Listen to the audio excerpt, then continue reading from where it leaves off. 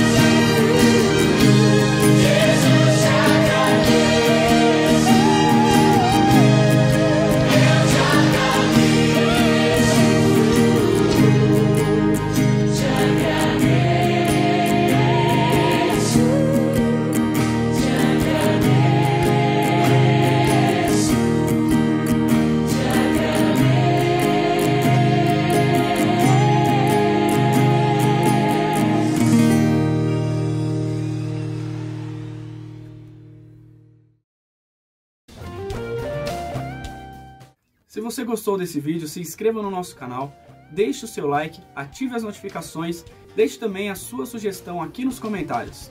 Tchau, tchau!